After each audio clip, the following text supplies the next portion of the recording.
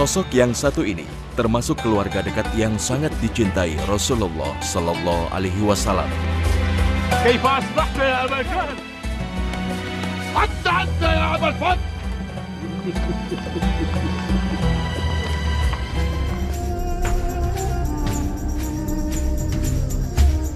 Bersama istrinya berjuang sendiri di Mekah saat Rasulullah dan kaum muslimin sudah berada di Madinah. Berjasa besar dalam melahirkan generasi-generasi terbaik Rasulullah Sallallahu Alaihi Wasallam.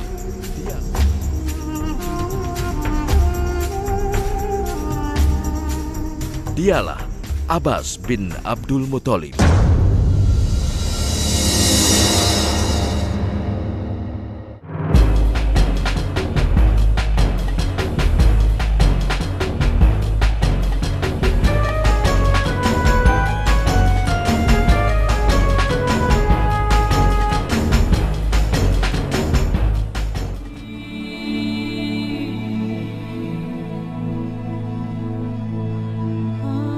Lahir di Mekah tiga tahun sebelum tahun gajah atau tiga tahun lebih tua dari Rasulullah Sallallahu Alaihi Wasallam.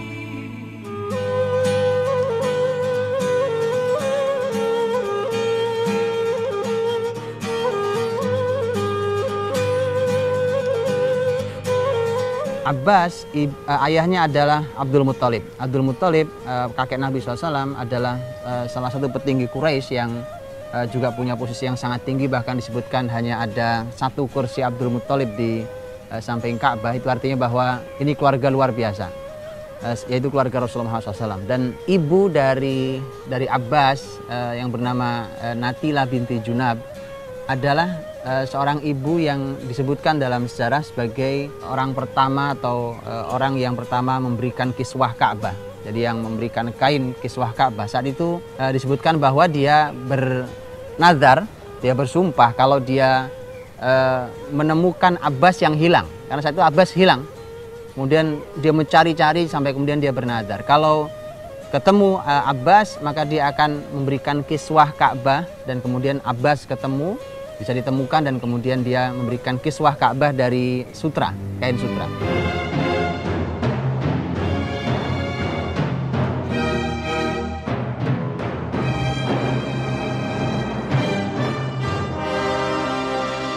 Abbas bin Abdul Muthalib adalah paman Nabi yang paling muda.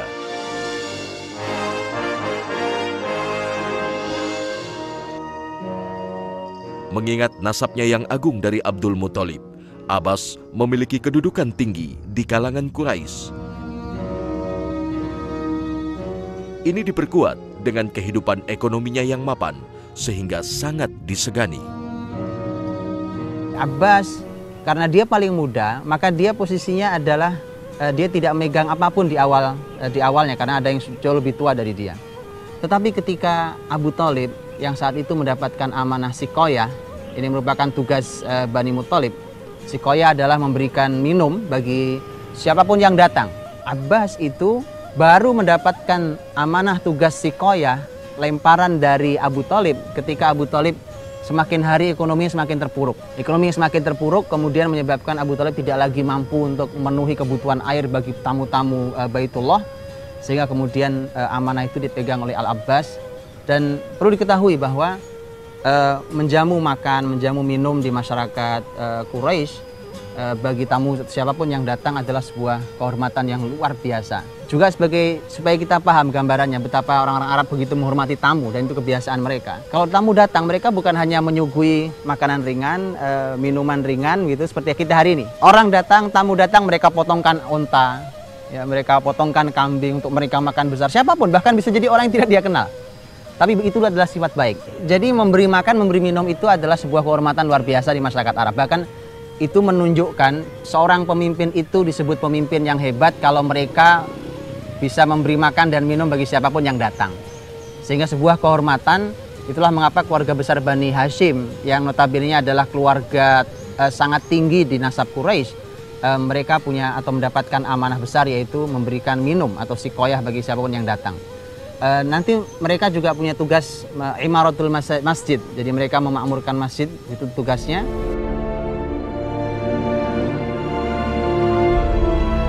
Abbas bin Abdul Muthalib kemudian menikah dengan Lubabah binti Haris yang kemudian disebut dengan Ummul Fadil. Dialah wanita kedua yang memeluk Islam setelah Khadijah binti Huwailid, istri Rasulullah Shallallahu Alaihi Wasallam.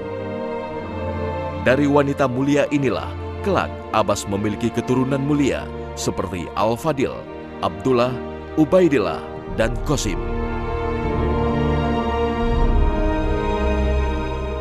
Abbas mengatakan, aku sudah masuk Islam. Kata Nabi, kalau kau masuk Islam, kemarin-kemarin kita tidak tahu. Tapi untuk kau bisa lepas dari uh, tawanan ini, kamu harus bayar.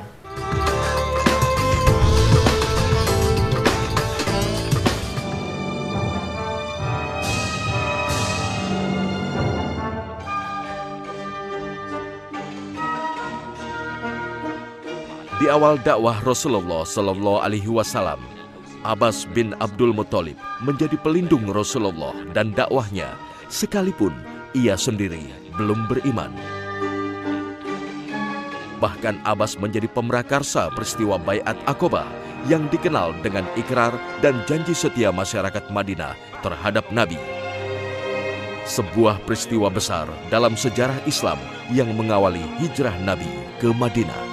تبايعون على أن يكون المؤمنون الغرباء إخوانكم والكافرون أعداءكم ولو كانوا ذوي قربى Perjuangannya membela Nabi inilah yang terkadang membuat kesulitan para sejarawan menentukan kapan paman Nabi Abbas bin Abdul Muthalib ini memeluk Islam. Para ulama tidak tahu sebenarnya Abbas itu masuk Islamnya kapan. Sehingga muncullah perbedaan pendapat. Tapi ada beberapa kalimat yang bisa kita ambil. Yang pertama adalah kalimatnya Abu Rafi. Abu Rafi itu adalah uh, pembantunya Abbas. Karena Abbas orang kaya raya ini salah satu pembantunya Abbas, Abu Rafi. Abu Rafi mengatakan bahwa Abbas itu sudah masuk Islam uh, sejak di Mekah dan kemudian menyembunyikan keislamannya. Uh, menyembunyikan keislaman itu membuat uh, para sahabat tidak tahu. Abu Rafi yang menginformasikan. Itu pun nanti menginformasikannya. Dan Rasul sendiri juga tidak tahu. Rasul tidak tahu. Untuk itulah ketika nanti uh, Abbas ditawan di dalam perang Badar tahun 2 Hijriah karena Abbas ikut berangkat bersama rombongan Quraisy untuk memerangi muslimin dan bertemu di perang Badar terjadi tahun uh, 2 Hijriah, perang Badar bulan Ramadan. Abbas termasuk yang ditawan. Saat itulah uh, ada dialog nanti dengan Nabi. Uh, Nabi di awal peperangan sudah mengatakan kepada para sahabat, jangan semua yang hadir di peperangan ini kalian bunuh. Ada orang-orang yang berangkat dari Mekah dalam keadaan terpaksa. Disebutlah beberapa nama, ada Abul Bukhturi, termasuk Abbas. Jadi sahabat dipesan oleh Nabi jangan bunuh Abbas. Maka kemudian eh, ada seseorang yang bernama Abul Yusr, dialah yang berhadapan dengan Abbas. Abul Yusr adalah Muslim, bertemu dengan Abbas. Kata Abul Yusr, Abbas, eh, saya diminta oleh Muhammad untuk tidak membunuhmu. Nah, terus apa yang kamu inginkan? Saya ingin menawanmu. Akhirnya kemudian Abbas e, ditawan, Abul Yusr dan Abbas mengatakan ini bukan e, kebaikan Muhammad yang pertama. Artinya sangat memuji ponakannya. Jadi kalau kamu diminta untuk tidak membunuh aku, hanya menawanku, maka ini bukan kebaikan Muhammad yang pertama. Ditawan, kemudian nanti singkat kata dibawa pulang ke Madinah dari Badar dan disebutkan bahwa Nabi malam itu tidak bisa tidur. Begitu sampai di Madinah karena Abbas diikat, badannya diikat, dia merasakan sakit ikatan itu. Kemudian ada yang tahu Nabi tidak bisa tidur, kemudian ada yang bertanya Rasulullah, kenapa tidak bisa tidur? Kata Nabi, saya mendengar suara rintihan Abbas, lepaskan dia dari ikatannya. Begitu juga tawanan yang lain kemudian dilepaskan, diperlakukan dengan baik. Kemudian Nabi SAW setelah rapat dengan para sahabat, bagaimana sikap eh, bagaimana sikap para sahabat terhadap para tawanan perang Badar. Yang kemudian keputusan rapat adalah bahwa siapa pun yang punya harta maka mereka akan dibebaskan asal membayar denda. Yang tidak punya harta maka mereka akan dibebaskan jika mereka mengajarkan kepada anak-anak kita di Madinah ilmu baca tulis. Nah, Abbas eh, ditemui Nabi SAW. Kata Nabi, Abbas, untuk membebaskan dirimu, maka kamu harus bayar denda. Ini pamannya, dialog pernakan dengan pamannya, tapi beda akidah. Abbas mengatakan, aku sudah masuk Islam. Jadi Abbas yang mengatakan, sudah masuk Islam. Kata Nabi, kalau kau masuk Islam, kemarin-kemarin kita tidak tahu. Kita tidak mengerti kau masuk Islam. Kalaupun kau masuk Islam betul yang lalu, maka Allah telah memberimu pahala yang sangat agung. Tapi untuk kau bisa lepas dari uh, tawanan ini, kamu harus bayar. Dan ternyata subhanallah Abbas membayar menebus dirinya dengan bayaran yang paling banyak di antara tawanan yang lain. Disebutkan dia membayar 100 ukiyah emas, kurang lebih lebih dari sekitar 30 gram eh, satu ukiyahnya. Dan ini dia membayar 100 ukiyah eh, emas untuk menebus dirinya. Ya, kemudian dia eh, melepaskan diri dan setelah itulah kemudian Nabi SAW yakin bahwa Abbas telah masuk Islam, tapi Abbas pulang kembali ke Mekah. Sejak Rasulullah mengetahui keislaman Abbas bin Abdul Muthalib, Nabi tetap mengizinkan Abbas tinggal di Mekah. Padahal sesuai dengan perintah Allah, seluruh kaum muslimin wajib berhijrah ke Madinah.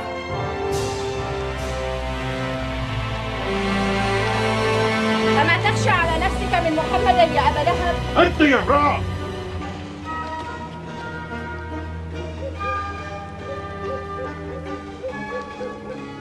كيف تجرؤين على مخاطبتي بأبي لهب؟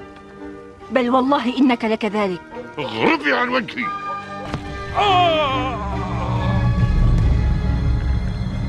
قتلتني يا امرأة قتلني الله إن لم أقتلك أتستضعفه أن غاب عنه سيده اذهب قبح الله وجهك Inilah peran besar yang diperankan Abbas.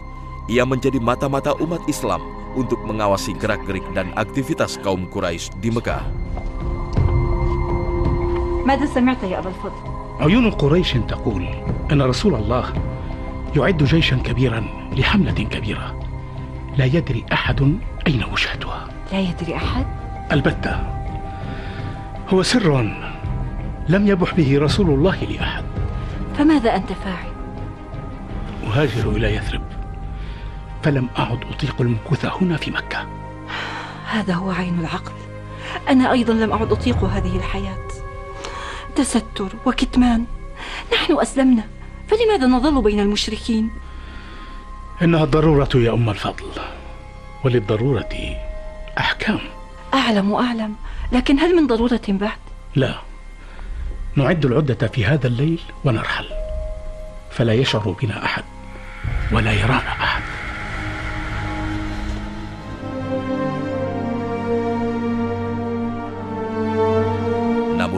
Paman Rasulullah ini kemudian tetap berhijrah ke Madinah setahun sebelum Fathu Mekah atau penaklukan kota Mekah.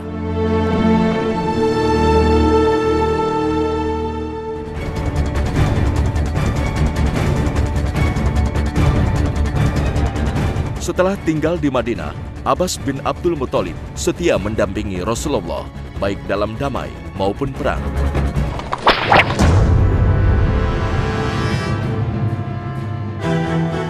saat kaum muslimin kocar kacir dalam perang Hunain lantaran mendapat serangan mengejutkan dari musuh. Abbaslah yang kemudian berhasil menyatukan kembali barisan muslimin hingga memenangi perang ini. Ya masyar al-ansar! Ya ashab samura Ila Rasulillah! Ila Rasulillah! Ila Rasulillah!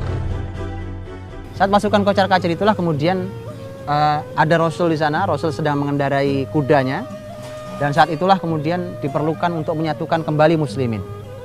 Eh, di samping di kuda Nabi Nabi naik kuda, kemudian ada Abu Bakar, juga ada Umar, dan disebutkan juga ada Ali, Eh, kemudian ada Abbas.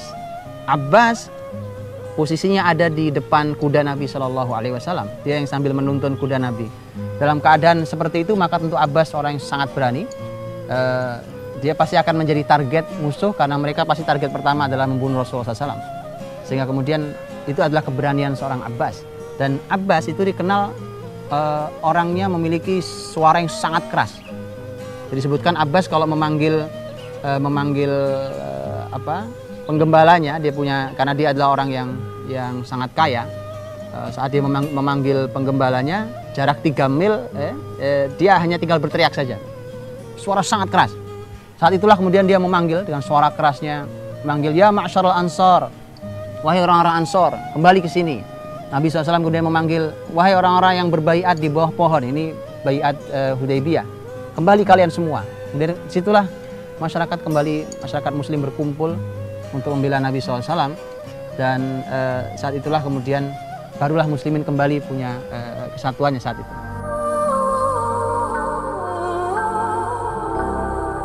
Ketika Rasulullah Shallallahu Alaihi Wasallam wafat, Abbas adalah orang yang paling merasa kesepian.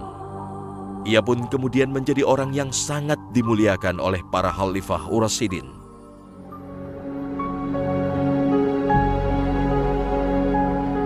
Mengingat kemuliaannya di hati Nabi, Khalifah Umar bin Khattab memilih Abbas sebagai satu-satunya orang yang paling pantas menjadi imam sholat memohon hujan saat kota Madinah dilanda kekeringan. اللهم إنه لا ينزل بلاء إلا بذنب آمين ولا يكشف إلا بتوبة آمين وقد توجه بي القوم إليك لمكان من نبيك صلى الله عليه وسلم آمين وهذه أيادينا مبسوطة إليك بالذنوب آمين ونواصينا بالتوبة آمين فاسقنا الغيث Umar sebagai khalifah saat itu harus mencari siapa orang yang layak untuk berdoa karena dalam syariat istisqa minta hujan uh, diupayakan untuk memilih uh, orang yang berdoa adalah orang yang paling soleh yang ada orang yang punya kelebihan supaya doanya secepat didengar oleh Allah SWT dan Allah segera menurunkan hujan maka kemudian pilihan Umar jatuh pada Abbas Umar mengatakan bahwa engkau adalah orang yang paling dekat rahimnya dengan Nabi Muhammad SAW dan engkau adalah orang yang terbaik di antara kami jadi artinya Umar memposisikan Abbas kelebihannya selain kesolehan juga kedekatan nasab dengan Rasulullah Shallallahu Alaihi Wasallam. Sehingga kemudian Umar mengatakan e, berdoa pada Allah SWT ya Allah e, dulu saat Nabi masih hidup kalau kami meminta hujan kami meminta dari nabimu. Tapi kemudian setelah Rasul wafat kami meminta e, dengan dengan paman nabimu. Maka kemudian Abbas pun berdoa dan kemudian bahkan saat Abbas berdoa itu awan datang berkumpul sangat tebal dan kemudian Allah memberikan anugerah hujan kepada muslimin saat itu.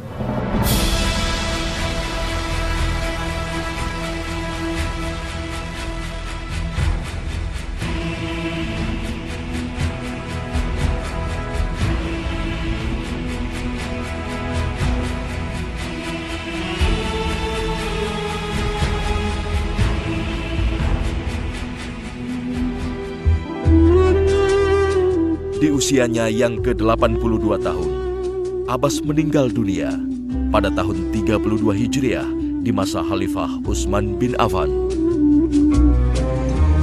Jenazahnya dimakamkan di Baki, sebuah pemakaman para sahabat Rasulullah Sallallahu Alaihi Wasallam.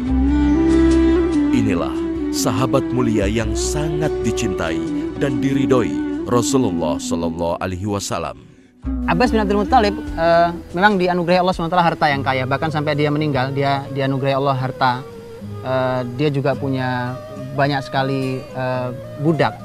Sehingga disebutkan bahwa menjelang uh, beliau wafat disebutkan beliau sebagai amal solehnya membebaskan 70 budak yang dimilikinya. Dan membebaskan budak dalam uh, syariat Islam adalah merupakan syariat yang sangat dipuji dalam Islam. Untuk itulah Islam adalah agama yang tidak uh, menyukai dengan perbudakan. Kalaupun Islam mengatur itu karena memang hal ini terjadi di masyarakat harus diatur. 70 budak dibebaskan oleh Abbas uh, saat beliau menjelang meninggal. Ini juga menunjukkan kedermawanan yang luar biasa uh, dari seorang Abbas uh, radhiyallahu anhu. Uh, adapun Rasulullah SAW disebutkan bahwa dalam Mustadrak Al Hakim uh, Rasulullah SAW pernah menyampaikan tentang Abbas uh, kata Nabi SAW Al-Abbas minni. Al-Abbas minni. Kata Nabi SAW, Abbas itu uh, adalah bagian dari diriku. Uh, dan cukuplah kalimat itu untuk menunjukkan bahwa Nabi tidak akan pernah mengeluarkan kalimat itu kecuali ini adalah orang yang begitu dekat dan mulia di sisi Rasulullah Shallallahu Alaihi Wasallam. Uh, Abbas bin Abdul Muttalib uh, radhiyallahu anhu suatu saat beliau ditanya oleh seseorang, ditanya oleh seseorang dengan mengatakan anta akbar am Rasulullah Eh, sebenarnya kalimat anta akbar am Rasulullah dalam bahasa Arab sebenarnya dia orang ini ingin bertanya tentang usia. Siapa yang lebih tua, kamu atau Rasulullah? Tetapi uh, dia menggunakan satu kosakata yang kurang pas yaitu kalimatnya akbar. Akbar itu bisa jadi artinya lebih agung atau lebih besar. Lebih besar artinya lebih tua. Tetapi kata akbar itu tidak disukai oleh Abbas ketika diperbandingkan antara dirinya dan Rasulullah SAW. Dan ini adab pada Rasulullah SAW kita pun harus memiliki adab seperti Abbas. Abbas kemudian mengatakan Rasulullah akbar wa ana asan minhu. Kalau urusan yang lebih besar, Rasul yang lebih besar. Tetapi saya lebih tua. Kalimat yang uh, luar biasa dan kita diajarkan. Bahkan Al-Qur'anul Karim ketika menyebut Rasulullah sallallahu alaihi wasallam selalu menggunakan panggilan ya Yuhan Nabi atau disebut sebagai abdun yaitu hamba Allah Subhanahu wa taala. Subhanalladzi asra bi abdihi Segala puji bagi Allah yang telah memperjalankan hambanya. Jadi Allah SWT pun eh, mengajarkan kepada kita bagaimana beradab tentang Rasulullah Muhammad SAW. Eh, bahkan Abbas sendiri ya, yang sebenarnya dia tahu apa yang dimaksud oleh orang itu, tapi dia tidak mau menggunakan kata yang kurang pas. Kalau masalah lebih agung, lebih besar adalah Rasulullah, tapi saya secara usia lebih tua. Ada beberapa kalimat Abbas yang menunjukkan bahwa kelahiran uh, orang tercerdas, orang ulamanya para sahabat, yaitu putranya sendiri, yaitu Abdullah putranya Abbas, uh, dikarenakan uh, juga adalah nasihat-nasihat Abbas. Ini pelajaran sekaligus buat setiap ayah untuk melahirkan anak-anak yang istimewa maka harus uh, seorang ayah memiliki kemampuan untuk memberikan nasihat dengan untayan kalimat yang baik, yang mudah dipahami, tetapi hadir dari hati yang paling dalam.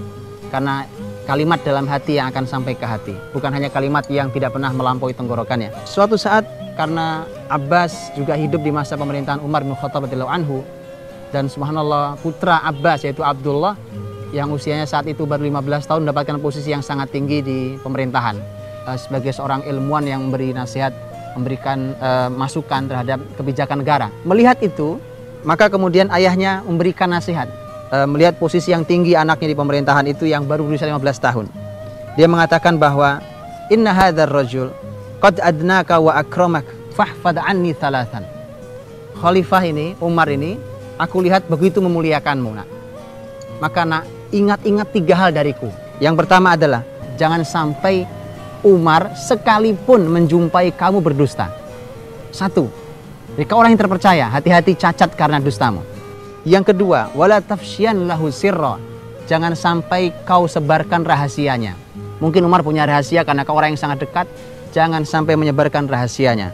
Wala tagtaban indahu ahada dan jangan sekalipun kamu menggunjing membicarakan aib orang di sisinya di hadapannya. Subhanallah tiga-tiganya adalah hal yang sangat berharga. E, pantaslah kemudian lahir orang hebat seperti Abdullah dari tangan Abbas radhiyallahu anhu majma'in.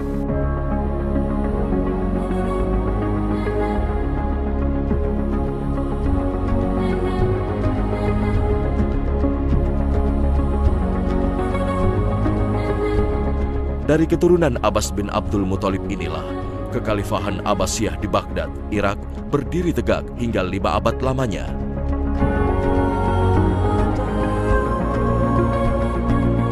Sejarah mencatat kekhalifahan Abbasiyah menjadi puncak zaman keemasan peradaban Islam sepanjang sejarahnya.